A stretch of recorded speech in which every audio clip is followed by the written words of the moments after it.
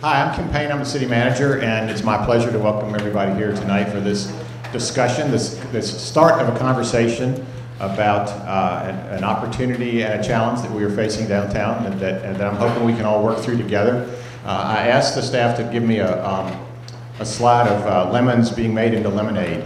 And uh, this, is, this is what we're here to, uh, to work together as we work through this conversation over the ensuing uh, months and, and beyond to address uh, our goal, our collective goal, I believe, to continue to make downtown a great place for people to, uh, to live, to work, to play, to do business, uh, and to enjoy uh, as a part of this uh, broader region. Uh, this is an inevitable thing that happens in an urban area that we have to deal with here, and so we want to talk about that and, and again to start this conversation. We have been working, um, the Water Resources Department has been working for about five years to try to understand the utility situation uh, downtown, particularly the water uh, line situation. Our oldest infrastructure, our oldest piece of water infrastructure downtown that is still in active use was installed in 1829. 1829. We ought to put a plaque on that fire hydrant, uh, and, uh, but uh, it's probably not going to last for another hundred and so years.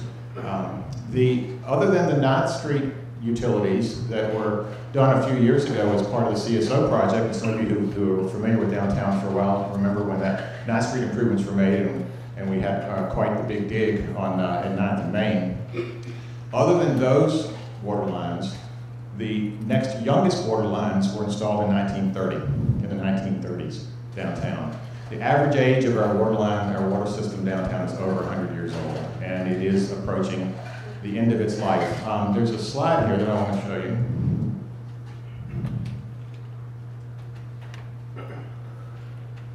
Okay, so, again, why, why we're here, we have to replace this aging infrastructure. Uh, we have, certainly, those of you who have been down, moved down here in the last few years know the incredible success we've had over the last 10 to 15 years in, in redeveloping downtown with the support of City Council, uh, putting a million dollars a year into infrastructure improvements downtown. I want to recognize Mayor Gillette, who is here.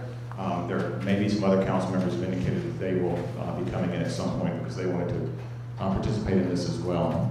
So we need to accommodate that increasing demand and we want to leave things better than, than they were or are today as part of our continuing work to improve downtown.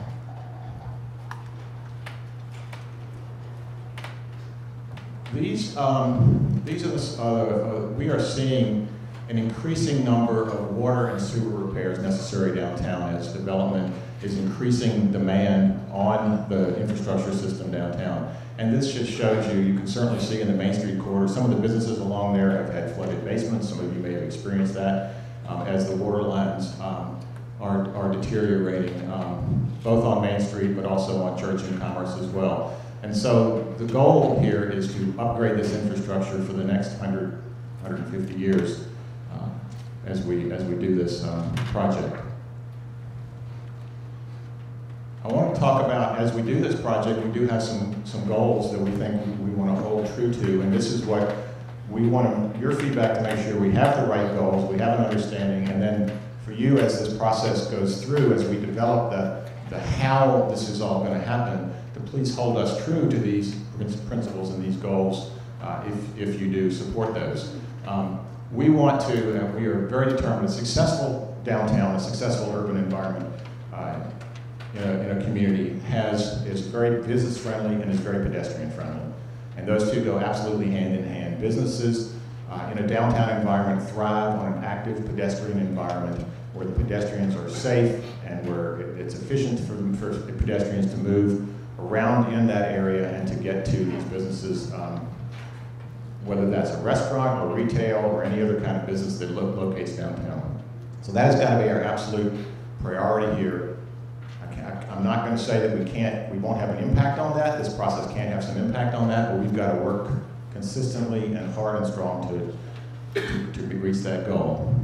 We want to ensure that this, what we, have, what we do downtown is sustainable in a number of ways, both environmentally, uh, stormwater issues, uh, tree canopy issues, things like that. We want to make sure it's financially responsible, and we want to make sure that it's something that we can maintain over time in the least disruptive and uh, in the most cost-effective way that is possible. And because of successful downtowns also have, have successful parking programs, we want to maximize on-street parking, again, to support the businesses downtown and to support that active pedestrian environment. Now, there's a few other less um, high priority goals here, but they also, that we want to try to accommodate as we do this. One of those is we want to create an environment downtown that supports bicycle traffic. Um, Again, not as high priority maybe as some of this, but we want to uh, support a multimodal environment of transit, bicycles, certainly walking, and and other opportunities. Showed you that. Those of you who who have been here for the last 10 or so years know the sort of growth that has occurred downtown. Um, 353 businesses have opened, 700 jobs created. I'm not going to read it to you.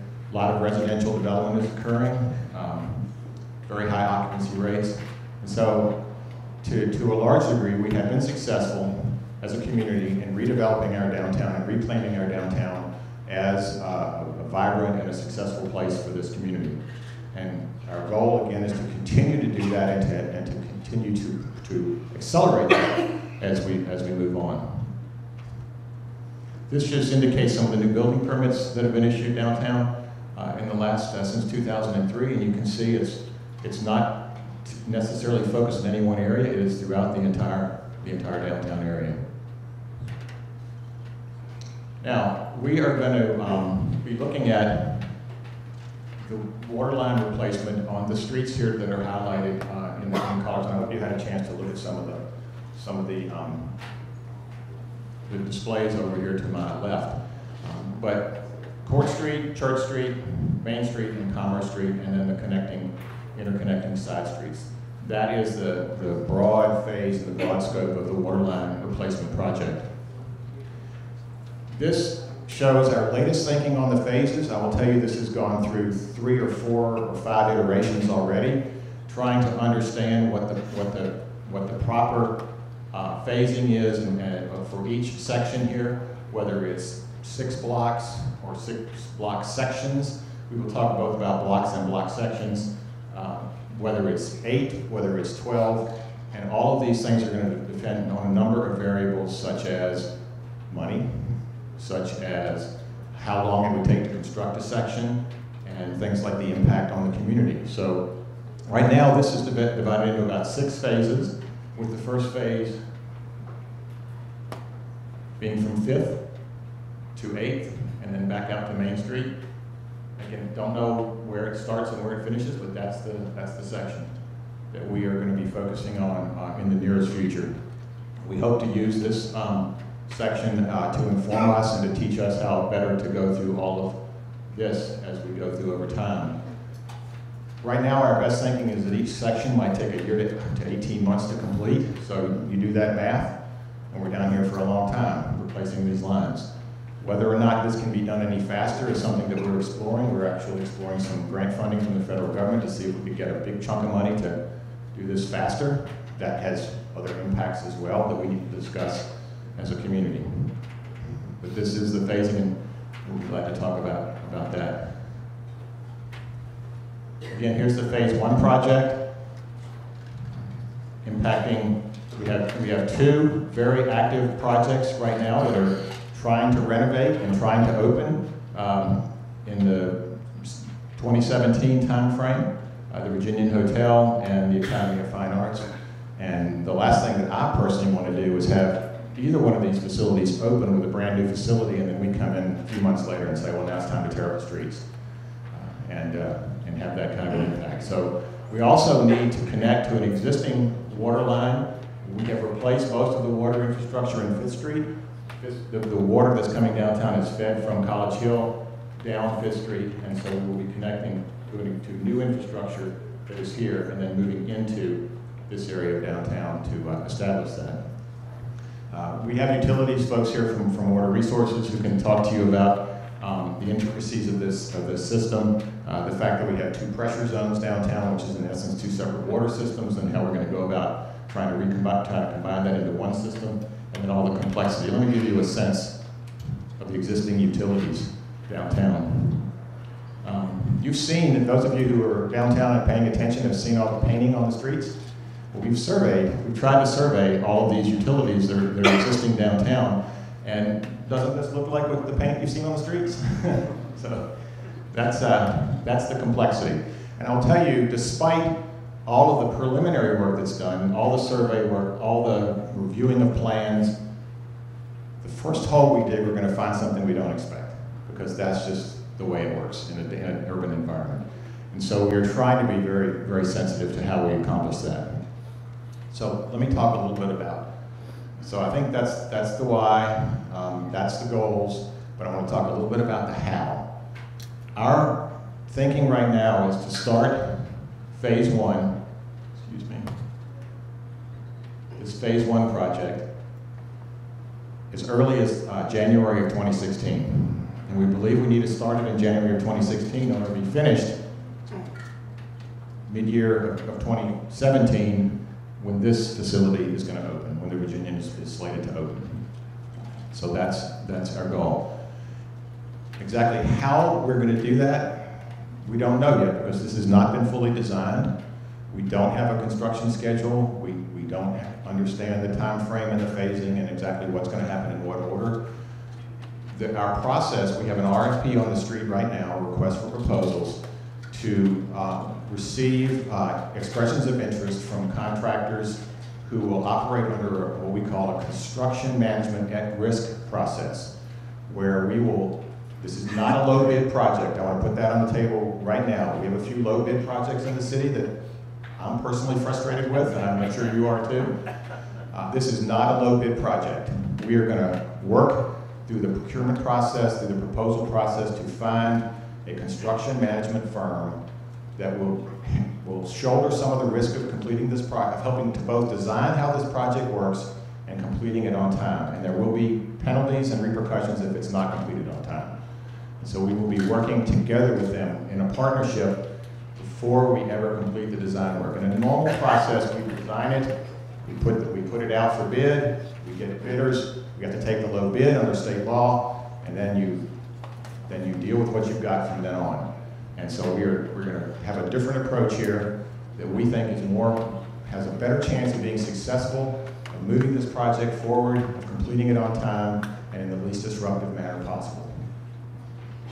We also understand the incredible importance of communicating with you about what is happening downtown. And so we are going to, we are having other request proposals on the street to hire an agency that will help us with our communication strategy, our outreach, and all, and to make sure that we have the proper procedures, tactics, personnel in place to communicate openly, transparently, and frequently about this project. We also intend, as part of the planning process for this, to knock on every one of your doors for a personal visit to talk about your issues, your concerns, your fears, and your ideas on how we make this work for this community, working together. So this very much needs to be a partnership between the city, between the business owners, between the landlords, between the residents, and ultimately between the contractor uh, downtown who's going to do this work.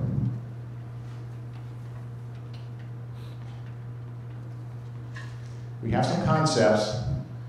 This is the lemonade part of this. We have some concepts. It would be one thing to come in here and say, we just, this is a water line replacement project, let's tear up the streets, put the water lines in, and say, ta-da, we're done we collectively don't believe that that's appropriate for this community to just tear up the streets, put the patches back down, and then walk away from an opportunity that we have to improve the streetscape downtown. And so the, some of the ideas that we have about that are over here and on these. Uh, there's about eight, eight different ideas, I think, right now, potentially that could, could happen. Um, and, and part of our outreach to the business owners the residents downtown is going to be to understand how their block works, how their building works, and what opportunities we have for these streetscape improvements in the end um, downtown. This is not a cookie cutter. Every block could have a different finish on it in terms of uh, how the sidewalks work, how the landscaping works, how the street furniture works. And so very much, one of the, the joys I personally believe of a downtown is that it's eclectic that it's not the same thing in every block, that you walk around a corner and there's something potentially different that was in, than in the last block. Uh, and so we want to enforce that and promote that as much as possible. as we work with the owners of property in each of these blocks to create a vibrant streetscape, um, again, that is business friendly, that is pedestrian friendly, that maximizes on-street parking, and that works to make this downtown a more dynamic environment. So that's, that's, this is, this is our goal. One of the things we think that needs to happen as we do this construction work, as, and we don't quite know again how it's going to work, but some of the things we're going to be talking about is, should we be shutting down entire blocks to do this construction? Or should we keep the blocks open to some sort of vehicular traffic? There's an absolute hardline commitment that we're going to keep these blocks open to pedestrian traffic throughout the construction. That there will be pedestrian access to all the buildings as this goes on. And that is a hard commitment that we intend to, to follow. What happens with the vehicular traffic is a question that we need to explore with the construction management firm and with the, with the property owners downtown. Because there's a trade-off. We can do the work a lot faster if there's no traffic on the street. So that has an impact. If we, if we keep the street open, it takes a lot longer, so the impact, maybe it's less, but it's longer. So we have to talk about cumulative impact issues and what's best. There are some blocks downtown that there's not a whole lot happening. And maybe we do something different in that block than in, a, than in another block because of the activity that is already going on on the street.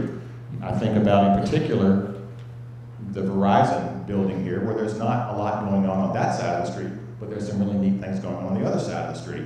So how do we handle, how do we handle those trade-offs as we go through this process? That's the discussion that we intend to have. I want to be clear to you tonight that we do not have answers to this yet. We are we want to start a conversation. We want to work together to resolve this as we as we all move forward. Let's see what else I was supposed to say.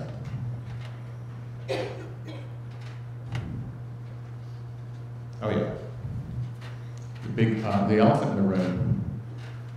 We think that one of the ways to accomplish this work in, a, in, a, in the least disruptive fashion is to have two-way traffic on some of these streets, um, particularly during the construction. We may find that we have to actually reverse the flow of traffic on some of these streets to, again, to maintain access to buildings. Uh, you may recall, some of you who were here for the 9th Street, uh, we actually, Main Street was two-way for a while. In order to accommodate what was going on when 9th Street was, was shut down, we had a huge hole in 9th Street. So we want to be creative uh, and looking at, at exploring ways to address the impacts of this construction and we think that, that two-way traffic is going to be is going to be part of that answer. Uh, we've already converted, some of you know, 7th Street and 8th Street to two-way traffic, and that was to accommodate this construction that's going on right here. So the construction vehicle doesn't have to go all the way down and around to get back to this building, uh, in or out. Um, those seem to be working okay, but those don't have nearly the sort of traffic demand of, of these, these streets. Those folks in this community who are used to using Main Street um, and Church Street as a way to get from one end of town to the other, from Rivermont to the expressway, without thinking about stopping downtown, merely using it as a bypass, are going to find that that is going to be a real challenge as we're doing this work on these streets. My perception, my belief is that downtown should be a destination, not a place that people drive through at 40 miles an hour. 40 miles an hour is bad for business, it's bad for pedestrians, it's bad for bicyclists, it's bad for parking, it's bad for downtown. Now, where we end up with this, again, as a, someone who has lived this for the last 15 years here in this community and believes strongly in this, I would like to think that in the end, two-way traffic on all these streets is going to work and will be a better environment for all of us downtown. That's not my decision. It's not a decision that's being made right now. It's something we're going to learn about as we, as we manage this construction through this process. But our thinking right now is that a poss possible end state is two-way traffic on Main and Church with four-way stops at the intersections. I don't know about you, I'm tired of sitting at 7th Street at that red light when there's nobody coming down the street and I'm waiting to wait for, for somebody, um, have to wait for the light to change. Four-way stops accommodate bicycle traffic without increasing turn lanes, without adding turn lanes, because when we put in lights, we have to put in turn lanes. So all of this needs to work together, and this is what we need to be talking about as a downtown community as we try to move this forward.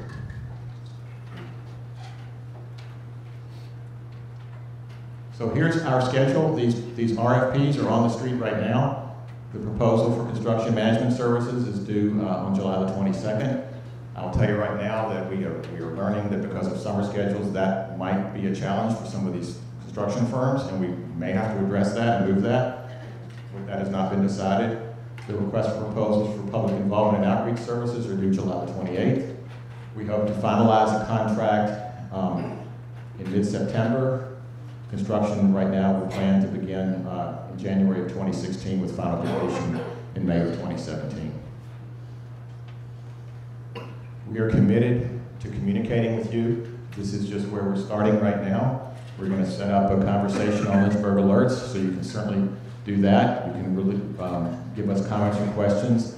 Uh, we understand that people communicate in different ways. This meeting is only one way. These are a couple of other ways. We're hoping that our contractor that we hire to help us with this will tell us four or five other ways, to- so that people who are interested in this can, can be involved. Some of you, many of you, I hope, are members of Lynch's Landing.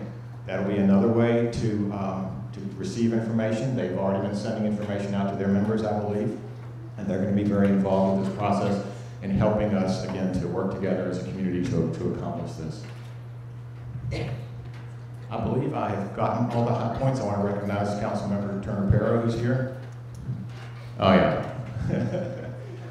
We, we were trying to figure out what the vacancy rate was downtown, just to show that we're not done. We're not done downtown. Um, there's still more growth to come. There's still empty buildings. If you look at the streetscape, the business, the business grade, there are too many empty storefronts. We want to overcome that, and we want to get some of these buildings. And so we know the demand is going to only um, increase downtown. So this was an, this was an effort to try to understand our vacancy rate. That seems low to me, but uh, we're going to continue to try to refine it. What else have I missed? Any of my staff that's here? All right, I did recognize Councilman Perrow. I don't know if any other, Vice Mayor Johnson. oh, Vice Mayor Johnson, excuse me, I was looking right over in your head. Okay, thank you for coming. So now it's time for us to listen to you, I believe. So I'll just leave this one up there. What sort of questions or concerns or advice um, do you have for us? Yes, sir. Uh, It sounds like there's no way to avoid uh, losing some parking spaces on the streets that are being worked on. There, there may be no way to avoid losing some parking while the streets are being worked on, but we believe that we can actually increase on-street parking by going to the two-way um, and uh, looking at this, oh, the other elephant in the room. Um, We are absolutely committed to addressing the loading zone issue. That has to be addressed if we go to two-way traffic. We've got to figure out how to load and unload these, these businesses and these buildings. Um, I have been joking with people that I'm going to take a lawn chair up to Charlottesville and sit on the mall, and a pedestrian mall, and see how they do it, because I've had more than one person in this community say, well, we just ought to recreate the Charlottesville Mall downtown here. Uh, and I'm going, well, wait a minute, they- how does that work? How are they loading and unloading all those restaurants and all those businesses? I'm convinced that can, we can figure out a way to do it, um, but uh, don't know how that is yet. But your question was about parking, so I kind of went on Yeah, so assuming parking spaces will be, some will be lost at some times, and is there any plans for the city to at least temporarily obtain more parking spaces for people that lost? We, we know that, that addressing the parking, uh, uh, parking that's to, within reasonable walking distance is going to be uh, an issue that we have to deal with. Um, We have, we don't know quite how to do that yet. Um, Yes, we will lose some on-street parking while we're under construction, but there's, you know, seventy-five percent of the parking downtown is, is, is, in private ownership. The city does not control it, and that's including the on-street. So um, We've got, you know, two city parking decks downtown, in the downtown area, and we manage a couple more. Um, So we definitely know we need to address the pedestrian access to convenient parking that's within a reasonable walking distance. So that's an issue we're gonna work on. Um, I'm glad to hear that you are planning to have someone to handle the communication, because I think that's going to be very important for all of us uh, in terms of keeping everyone informed what's going, what's happening, and Uh, I mean, a good example was 8th Street when it became two-way street. Most people around there didn't even know that. Um, eh, eh, The, the, the comment about, you know, making traffic uh, uh, going slower, I, I think what we need to do is to actually enforce a, a process where it does slow people uh, uh, uh, driving, I- not just a four-way stop, but, but other, uh, you know, stipulations such as when people are walking through an intersection that cars must stop. I mean, most cities in, in Virginia, you have signs that says, you know, people in, in uh, uh, intersection car, the law says, Virginia law says you must stop. I think Well, The problem is Virginia law doesn't say you must stop. It says you must yield to pedestrians, which doesn't mean stop. Well, well, And and many drivers understand that. Well, then, then let's, let's, let's enforce a, a, a- a manner that, that educates everyone to do that, because if we don't do that, people will still speed up. Well, okay, I'll let you finish your thought, and I've got a couple of thoughts in response. And then finally, uh, you know, I, I- think what, what we're doing here is obviously a- a- enhancing our city landscape in terms of the city streetscape. Um, I think it is time also to, to get at the businesses who are on Main Street and other businesses that we have that, where the places are empty and, and they're not, mm, uh, and, you know, physically uh, are taken, being taken care of, that we, we have to have some kind of a policy that says, you know, if you have a business, take care of it you know, show, sh- make the facade look appealing. That's how we're gonna get new people come downtown. That's how we're gonna get new business to come downtown.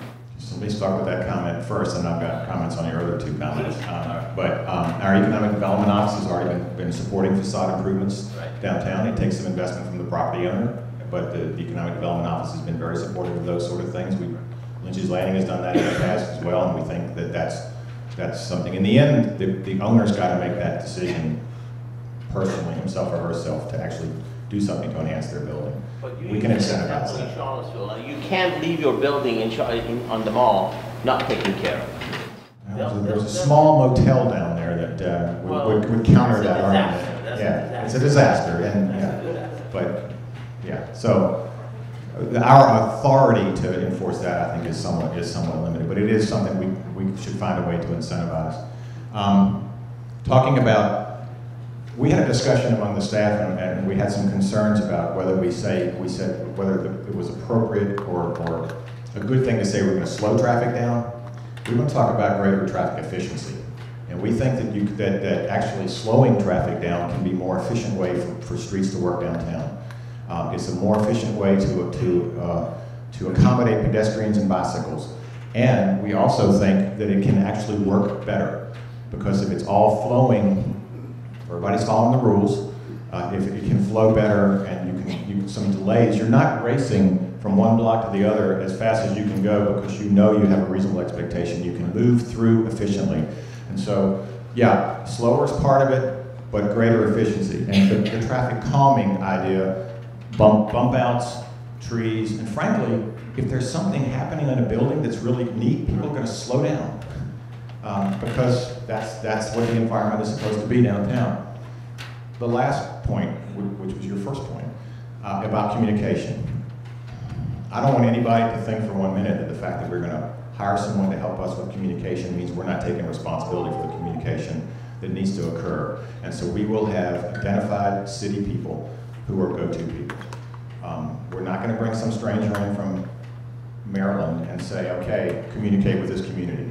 It's not, so I want you to be, understand, we are taking ownership of communication, we are seeking some help in how to do that better, but you're gonna be talking to your, to neighbors and friends and people who are invested downtown about this project, not someone who doesn't live here. Yes, ma'am. Um, I'm sure that there's a, it has to do with how the water systems work and where the pressure valves are and all kinds of complex stuff. But why would we take our two major arteries coming in from Rivermont and going out from Rivermont and do them in the same phase? Okay, you're right, it does have to do, I mean, we, for one thing, the, the way to do this is to, is to, is to connect to the existing infrastructure, the new infrastructure that's in the street right now. And so there's new infrastructure right here, we left the valves so the connections can be made, and there's new infrastructure right here. And this is where the feed comes for all fire protection and all the water, all the domestic water downtown is coming from College Hill. Uh, And so we've got, we, it's more efficient, we think it's better to connect to the new infrastructure as we move out. The other, the, the other reason for starting here is because this and this, the Virginian and the Academy of Fine Arts. If those projects, this one is going already, it's under construction. This one is successful and gets under construction again, I don't want to tear the streets up in front of it after it opens. So our goal is to, is to be ahead of these, of these openings. But, I mean, when we're doing them simultaneously, couldn't we do Church Street and then Main Street, or, so we would have more traffic if we're talking about eliminating vehicles? Well, part, part of the discussion that we will have with the construction manage, management team is whether or not, you know, we should maybe do that. I'm not saying all this will be torn up at the same time. There'll be a process, and maybe they'll go down here, and then they'll go down here. Maybe and when they're going down here, we make this two-way. I don't know. Those are, those are all, that's a really good question, and those are the sort of things that will be discussed. It may be that if we close this, making this two-way, and get- and getting the cross streets working, that we don't have as big an impact as we would have otherwise. So all of that is part of the discussion, part of what the feedback we want to hear as we go and knock on doors of individual businesses. But that's, a that's a great point. So I don't, I mean, if I gave the impression this will all be totally torn up at the same time, I don't, I don't believe that would be the case. My utilities guys can tell me if I'm wrong. Scott Parkins is back here. Uh, Scott has been the uh, project manager from the Water Resources Department. Raise your hand again so they can see you. I want you to know who these folks are. Um, He is uh, our point person on the design and- and uh, those sort of questions. That- That's a great question. Tim Mitchell, the Director of Water Resources, is here as well. What else?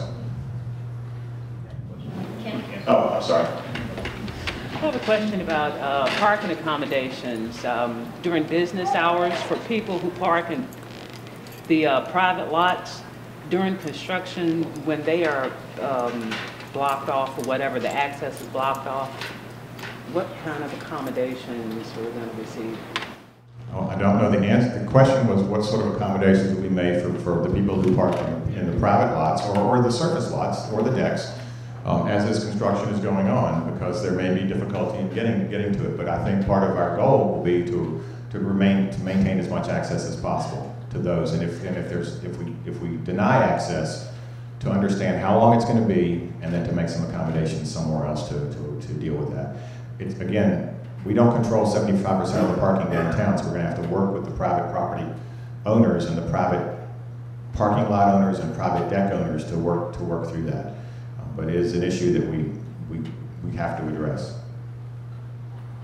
Any other issues that we've missed? Can Yes. One, uh, just to make sure I understand on the, uh, the two-way, um, on Main Street and Church Street, is, so this is gonna be a learning process through maybe phase one, maybe phase two, to see how that works? Not going in and taking the stoplights out and making that irreversible? Not, no. No, not, this, this design, by the way, I just want to, um, this design will accommodate this, this idea on how the streetscape gets done and how the, how the new parking maybe goes in. This, this can accommodate one-way or two-way traffic. So we are not saying we are set in stone.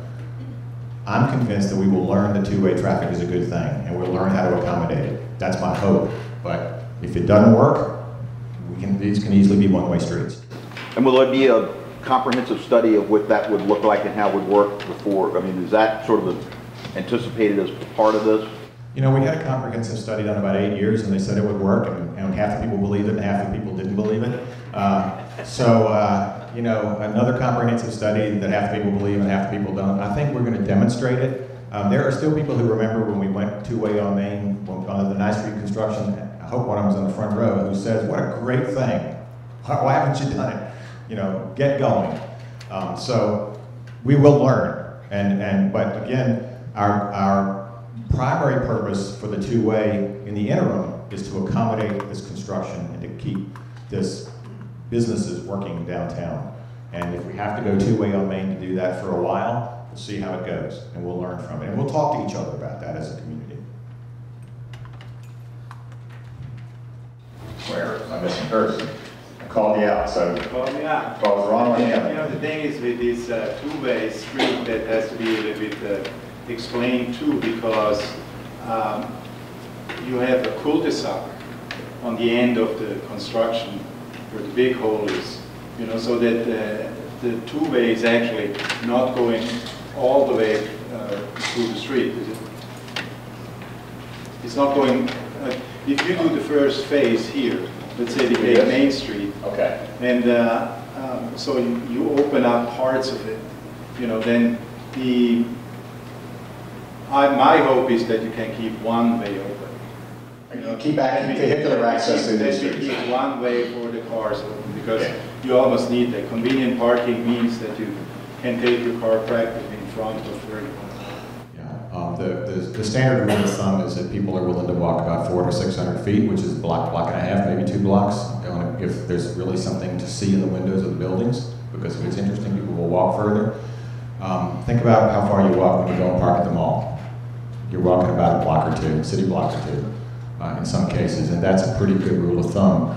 Um, but no, there's people who want to park right in front of their business and stay there all day, um, even as they're, mean, if but. you- you're saying that it takes uh, more money and it takes longer if you keep one. uh, Well, it, it may not take more money, but it may take longer, yeah. But you know that for us, for, for me, for the business, you know I live through.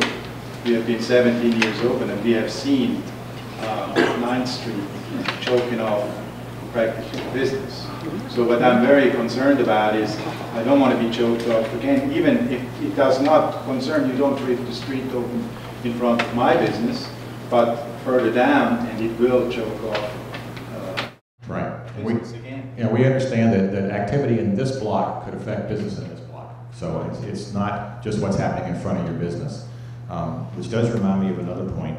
One of the things that's gonna happen here as we, as we do this water line replacement is we have to fix all the connections to all your buil- buildings and businesses. So we will, we need to talk to you about how, when we give you the new water connection, um, how that gets managed, because I might have to turn your water off for a little while. It's probably best if I do it around one AM, right, rather than about eight PM. So we have to have that conversation. Yeah, but that is something very important, that uh, towards the end of that 9th Street CSO project, it really, and you were a big part of that, I have to say that too, you know. Um, There were communication where you could say, okay, look, I mean, you can't do this. You can't put the big uh, uh, asphalt machine in front of my people who are eating dinner and then they can't get their cars out. So that worked out, in the end, it worked out better. And remember, um, we do have some control over who the contractor is going to be here, so that, that partnership and that communication and that raising contractors' sensitivity, which can be a challenge, is something that we're going to have to, have to accomplish, so that they are aware that we have an active business community down here that needs to be protected to the extent that we can. And you know, for the, for all of the business owner, there should be a fund uh, in the end. Maybe you can put into the contracts that there is a a fine, you know, if they're late a week, two, three weeks. We will have liquidated damages in the contract. Then the, business community can uh, participate in that uh, fund. That's, that's an interesting idea. Yeah, no, that's great, that's an interesting idea. Yeah. Yes, ma'am. Um, So when this is taking place, my concern is not with communication with us, but communication with people coming downtown.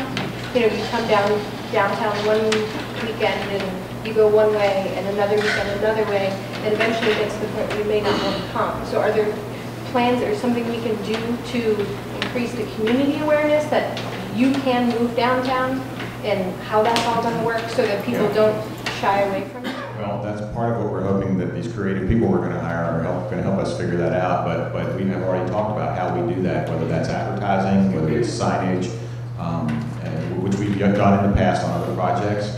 Um, I don't know if you were here for the Ninth Street project, but we made a big to-do about come downtown and look at the big hole. You know, come down and see what's going on, because it's gonna be different every week, and you can explore what's going on. Um, maybe we have that theme that, don't be afraid of this, come and, and see how it's going, and, um, every time we dig a hole in the street, it's like an archaeological dig, because who knows what we're gonna find? There's still wooden pipe in these streets, there's trolley tracks, there's Belgian block, there's, the history of our city is under these streets, and if we can play on that and get people excited, and, and get- everybody, you know, again, making lemonade out of lemons here, that's what we wanna do, and that's, that, I'm hoping we can find creative people who are already in this room, um, who live here, to help us to find a way to celebrate this and to make it work so that people don't, are not afraid of coming downtown. I think we've, we've, over the 10 years, 15 years, we've stopped the rumor that, oh, I don't go downtown because nothing's going on downtown. We're fixing that. I don't go down, downtown because it's dangerous. Addressed that. Um, You know, there's nothing to do, there's no good place to eat. Those issues, all the reasons people stop coming downtown, we're overcoming one by one. We need to overcome that one as well. The Great thing is it will stop at some point, and we won't be back for hundred years. Tell your grandchildren, it's gonna be great. Yes, you and. Are you guys going to any kind of um, compensating to the local businesses that are going to be choked off a little bit by the construction? I don't know if you said it before. No, I didn't say it because I was avoiding it. Uh, That was a good question. Uh, The question, the question was, are we going to do any compensating of, of businesses? Um, That is, that is an extremely difficult, I'm not going to give you a good, a yes or no answer, okay? That's an extremely difficult thing to contemplate because I don't know how you do it. Um, What we are interested in trying to learn is whether there's other communities who have found a way to address this. Um, uh, in, in a fashion that seems to work. We have had some preliminary ideas about um, whether there is some sort of relief that could be provided. I don't know the answer to that yet because we, we're, in a, we're in a Dillon rule state. We can only do what the state says we can do. And we may not have authority to do some of the things we might think are a good idea to do.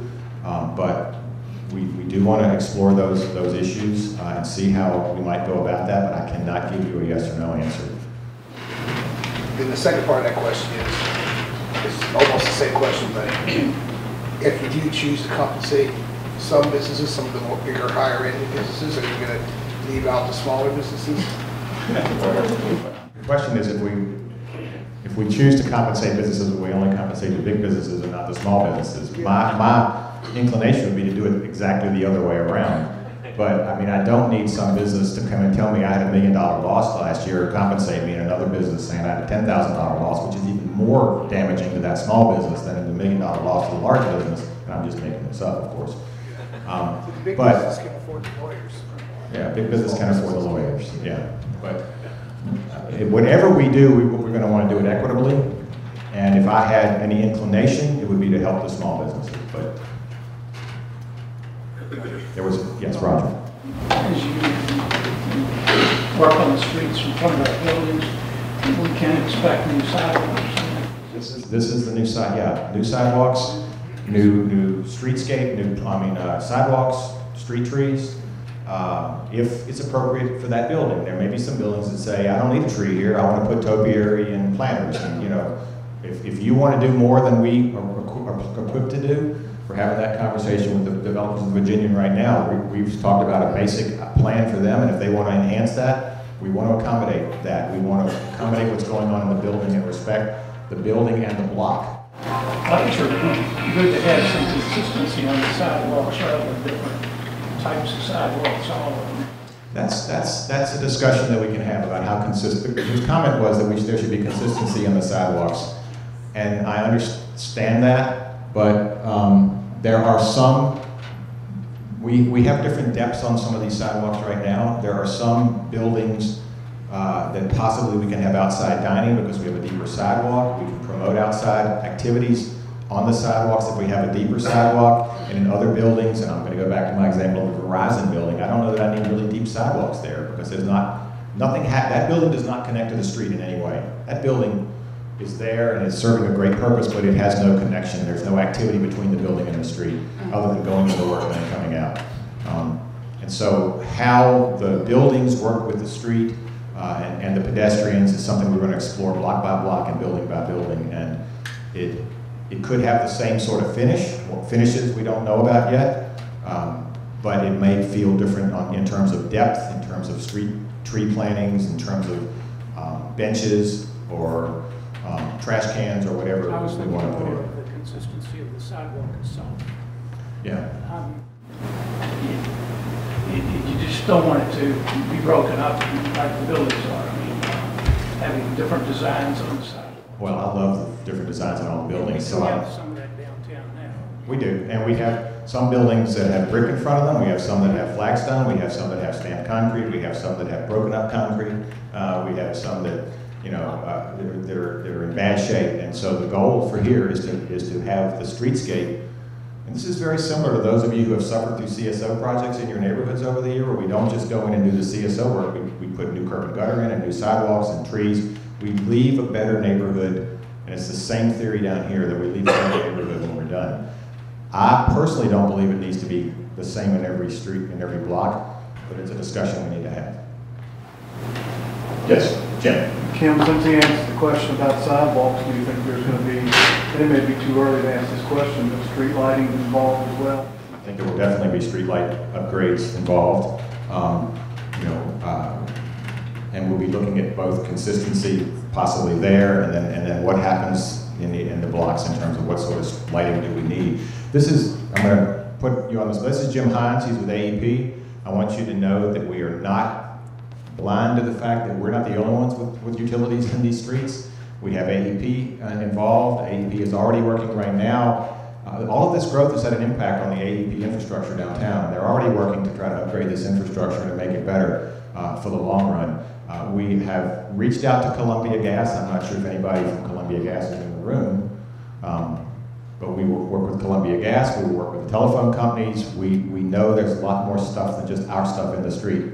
That was that, what that picture showed. Um, and we need to work with all of those folks and try to enhance their uh, utilities structure as well. I recognize Jim Foster, another council member who's, uh, who's now with us too, so thank you. Sorry, sorry, it's like Region Two She was at another meeting that I walked out of, so, yes. Yes. Um, Funding, do you have funding in place to where it's gonna go from, from one stage to the next flawlessly? Or is it gonna be like, we do this section and then we have to wait a couple of years for funding to do the next section? Or how is that, has that been planned out yet? As I've been talking, that thought crossed my mind several times. I needed to address that issue, and it keeps going right out. Um, so thank you for, for bringing that up. There are going to be there there are two major sources of funding for this project. Um, there is a separate source of funding for the utility project through the Water Resources Department, and I believe that they are getting their funding in place that they can proceed sequentially with phase, phase, phase, phase after phase. The streetscape work is funded through the general fund, uh, which is where we do a lot of other capital projects like Heritage School. Um, it is our intention to keep up with the utilities in, in the funding. That is an issue we have to, we have to address, that we, that, that is potentially challenging. But we've, it's about, what did we say, a million dollars a block? Half a million in the, in the ground, half a million up above the ground to do each of these block. When I say block, it's like from there to there. Is that right? So, one million, two million, three million, you can add it up. Okay, and I got, the general fund's got half of that to deal with, and the utility fund has the other half to deal with, so we hope to keep up. Yes? Uh, Kim, could you, um, two questions. One, could you explain what happened with Glenn Trent's property, one?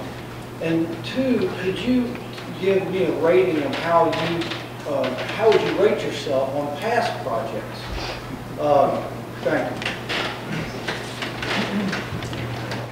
All right, well, I will tell you that um, everybody's all lawyered up on the Midtown Connector. Uh, The contractor's lawyered up, the Trents are lawyered up, we're lawyered up, and so I'm limited to what I can say about that. Um, The distinction with the, with the Trent property was there was a, there was an actual taking of property. There was a, there was an eminent domain action there where the city needed land owned by the Trent to, by the Trents to do that project. Um, That's a different thing than, than this. We're not taking anybody's property here. This is all in the public right of way, all public property. So that's the, the main distinction right now. Um, in terms of rating ourselves, um, I'm not, I, I can't get into a blame game about who's responsible for, for the Midtown project not, not proceeding on the schedule that was, was originally laid out. Um, there's probably plenty of blame to go around, that's why we're all lawyered up. Um, so, um, I would ask that we not be judged, uh, on the Midtown project. Uh, it has unique challenges, and, uh, um, our intention is to, even if you do grade us D minus, could I even maybe get that D minus out of it? um, all of us together. Um, even if you do grade us poorly on that, we hope to learn, and we hope to put the, put the things in place so that it will not happen here. I mean, I'm, I'm looking for an A, but a B plus is gonna be cool for me. Um, and that's why construction manager at risk, putting the risk on the construction contractor right up front, but also partnering with that construction, that contractor to do this together and to make the decisions together and to make sure that we've designed this right so that it's constructible and it's quick and we have as few unknowns as possible to deal with. So that is the fundamental change, difference between the Midtown Connector project um, and the Riverfront project. Probably a D there too. Um, and this project is going to be very different. That is our commitment. Sir. So in this, in this uh, contract is going to be uh, an end, a definite end with heavy penalties. We will, we will, we will sit down as part of, of the contract with the, with the construction management firm, and there will be an end date that we agree to on, that we agree on together. So it's not just saying, here it is, but we will, we will agree to it, and there'll be- there'll be penalties if they don't meet it.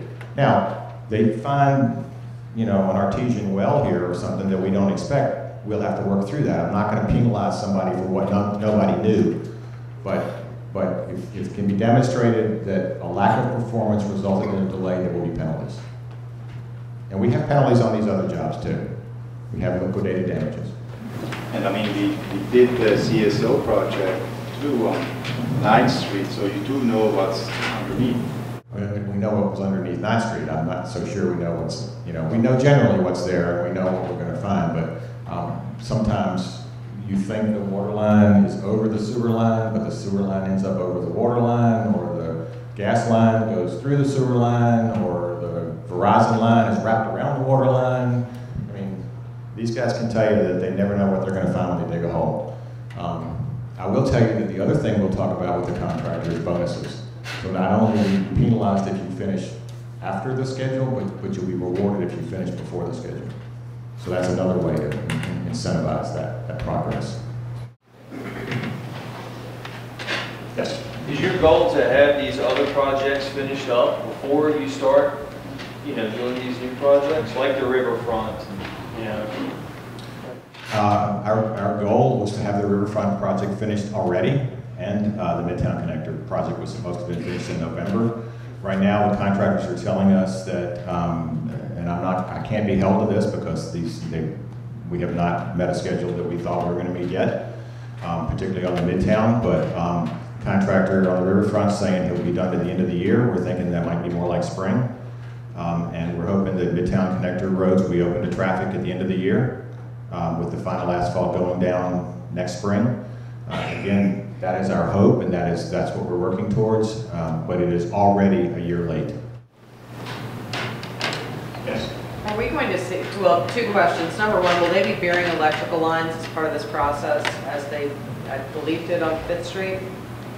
Well, they really did on Fifth Street. Okay. Um, In Fifth Street, we consolidated all the, in Fifth Street, we consolidated all the power lines and the, and the utility lines on one side of the street. Okay. Um, the- the- We could argue all day whether that's attractive or not. Um, Most, and Jim can address this, but many of the utility lines are already under, underground, but there are some that are above ground. But the cost of burying them underground, say on Commerce Street or, I don't know if above ground on Court, Church, on Church, uh, you're talking adding two to three hundred thousand dollars or more a block to the cost. And I'm just not sure that it's, that it's worth it. And then the second question, are you foreseeing gaps between phases and taking six months in between? Or are we looking to roll this fairly quickly? I mean, at, at a year to 18 months per phase and six phases, is this a 15-year project? Well, again, one of the things we're pursuing is federal funding. If we got a infusion of, you know, $20 million in federal funds, we might say, let's do three phases at once. We have to have a conversation about that because that's shutting down three times the streets potentially in, you know, some sequence. Uh, We need to talk about that. We would like, to- we would like to be done as quickly as possible and then get on with life. Um, But we need to understand, we're gonna have to have that conversation as we look at the funding, um, and as we look at what happens as we do this. So we're gonna definitely learn as we go through this process. Weather too. weather, I mean, yeah, we get, we get one of those nasty, you know, snows that then we get the hard two-week freeze afterwards, that's gonna have an impact. Fortunate thing about utility line construction is if the ground's not totally frozen, we can put utility lines in the ground. We can't lay brick though, we can't lay concrete, we can't do a lot of things with, with bad weather. What else?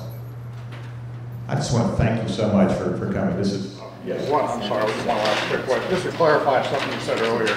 Uh, Is there the option for the, the city to actually uh, uh, work with private uh, parking facilities to uh, obtain more spaces to replace those on-street parking that would be lost from We, yes, there is certainly an option to work with the private, the private lot owners um, and, and the private deck owners to, to work to uh, deal with the fact that we will be losing um, parking in some of these blocks. Uh, Dave Malowitz, where's Dave?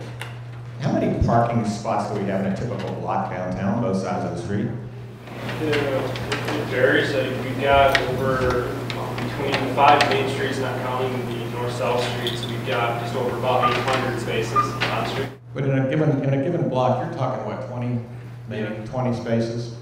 Maybe five to 10 on each side, depending on what's going on? Yeah, depending on where the So, you know, when you close a block, you might lose 10 to 20 spaces, but uh, how, that's not a huge thing to accommodate potentially, but we gotta, we've gotta work through that. We, uh, Dave is already managing, uh, Dave is our parking manager, if you don't already know him, he's over here. Uh, he's already managing a couple of private lots. We can, we're certainly open to, to doing that. Um, I would say there is money to be made by private lot owners if they manage their lots better. Uh, if they understood how to do that, um, and, and, and- and they understood they could offer people convenience and, and a good place to park if they, if they could manage their lots properly. Some of them are starting to do that, others are more resistant to doing that. Again, thank you so much for being here. We're gonna stick around for a while. There's some food, there's some drink, there, there's some, city staff, council members. Anything you have to say to us, we, we want, we want to hear from you. We want to learn with you as we go through this process. So again, thank you so much for being here.